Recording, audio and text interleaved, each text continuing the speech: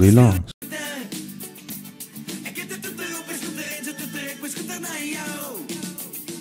Hello and welcome to Cowman Sense TV. If you looked at the intro, you would have seen that this video is about our much mocked motorbikes go where ambulances cannot. Now, this is in relation to the 100 side carted motorcycle ambulances that were recently bought by the Eastern Cape Health Ministry.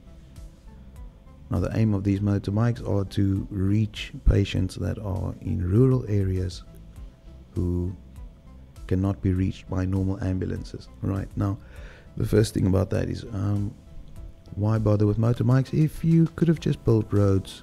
You had a very long time to do so. You never bothered, and now this will have to suffice. Right, let's look. Deep rural areas of the Eastern Cape where pa patients have to travel on foot or be transported on wheelbarrows to access healthcare is where newly unveiled medical motorbikes will be utilized, says the Health Ministry. Right, if you look at the picture here, um, I think I'd feel much safer in a wheelbarrow to be honest. This looks absolutely horrible. Government on Friday unveiled 100 of the specially adapted motorbikes which can ferry patients either seated or lying down and are covered to ensure they are waterproof. Right.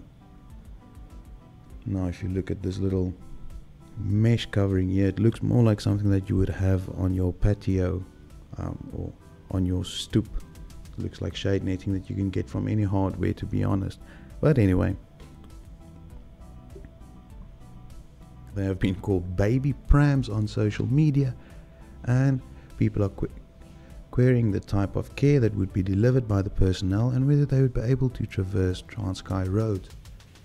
And as this is South Africa, questions were also raised over the cost of the vehicles and to who the tender was awarded. Yes, fair question to ask. Right, acknowledging this, the Health Ministry said in a statement, we have received backlash from the public. We will. An interesting quote in this Times Live article It's a quote from the ministry where someone says, This model has been highly successful in countries like Cuba. Now, I do not understand why Cuba has to be used as the example. If you look at the website of the manufacturer E-Ranger, you will see that most of these bikes are being used in Africa itself. And if you want to compare the situation in South Africa, why not use Africa as an example? Why use Cuba? Um, I don't understand if the I don't know if the government are striving to be like Cuba, Cuba, or if they see Cuba as a benchmark of how healthcare should be, or of a way to govern your country, which it obviously isn't. It's easy to find an example of where South Africa have managed to emulate their Cuban counterparts when it comes to healthcare. Here is an example of where South Africa have followed Cuba's example. In 2010, 26 mental health patients died while in a psychiatric facility in Cuba due to cold, due to exposure, and if that is any example to follow, then South Africa managed to follow that example with the Life Esidimeni tragedy, where we went one better and 144 mental health care patients died because of exposure. So if you are following Cuba, then yeah, then you're doing a very good job. Um, you're actually beating them at their own game. So let's get back to our motorcycle scooter. Oh, Dr. Zweli Mkhize, the Minister of Health in South Africa, tweeted Today we launched a scooter project in Eastern Cape. These multi-purpose units are extremely versatile and can transport patients or deliver medical medication in rural communities. Right, that's happened on the 12th of June. Right, so let's have a look. There's a little video of him testing it. And let's look at some of the comments. Infrastructure like an ambulance maybe. Imagine it's raining, you're dying of COVID, and you are a passenger on a scooter. Then village girl says, and you must still have the strength to hold on to those handles. Itemba Lamakeza says instead of getting 10 bikes, why not at least 5 ambulances? The logic of our politicians is unexplicable, Zipozonke. And Dom says, I would love to see the tender for that. So, yeah, um, you can look at the Twitter thread yourself. Very few people are actually praising the minister or the government for this. The ANC government is an embarrassment. Who got a tender to supply this scooter? So, yeah, it's not looking good. Are there even nurses, these scooter drivers?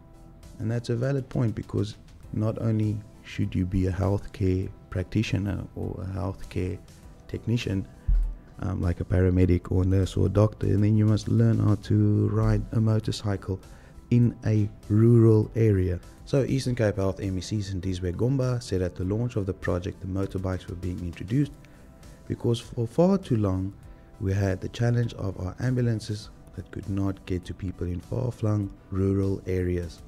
Again, as I said earlier, this could have been avoided by just building roads, providing the proper infrastructure before you need to go and buy a hundred motorcycles.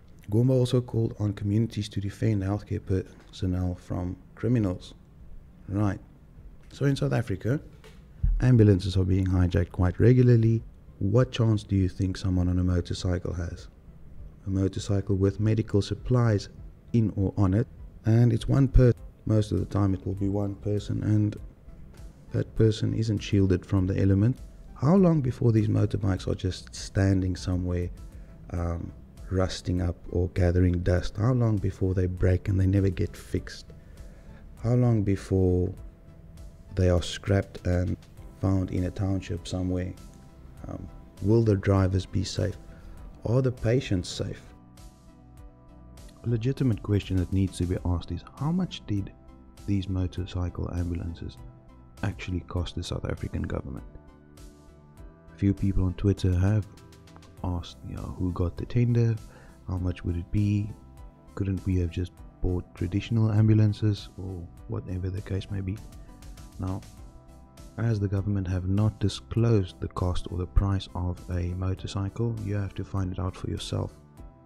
And the only way or the only place where you get any indication of the selling price of one of these motorcycles was on engineeringforchange.org um, after they featured the e-ranger company. And they've determined that each of these motorcycles will cost about 5900 US dollars to manufacture. This does not include shipping shipping shouldn't be an issue as the motorcycles are manufactured in the Eastern Cape and they will be used in the Eastern Cape. I would, however, not be surprised if uh, shipping was included just to make the tender a bit fatter. Well, that's speculation, but given the track record in South Africa and the way um, tenders work in South Africa, that wouldn't be any surprise.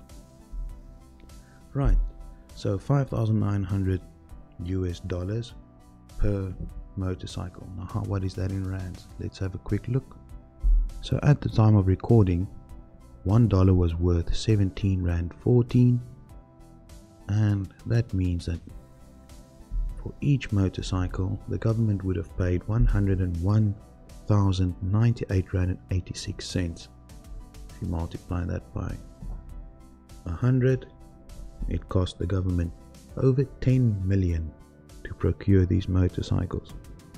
Now I do understand that that is much cheaper than um, what ambulances would cost and it is cheaper than building a road. But then again these roads could have been built years ago so it's most probably still a waste of money where taxpayers' money have been wasted on unnecessary expenditures and whether this will be a success or not.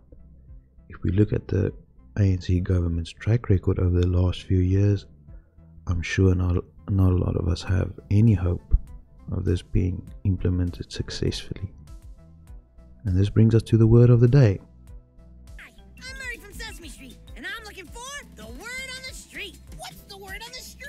Incompetence. Incompetence. Now, the lack of ability to do something successfully or as it should be done. Used in a sentence, management have demonstrated almost unbelievable incompetence in their handling of the dispute. Allegations or accusations of incompetence. Or could the Eastern Cape scooter ambulances be just another example of the ANC government's incompetence? Incompetence, the opposite of competence. And with that, I bid you goodbye. If you liked the video, you found it informative, please hit the subscribe or like button. And if you want to start a conversation, feel free to make a comment. And stay beefy.